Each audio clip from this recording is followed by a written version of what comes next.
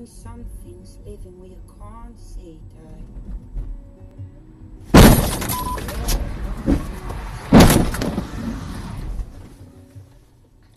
Rerouting.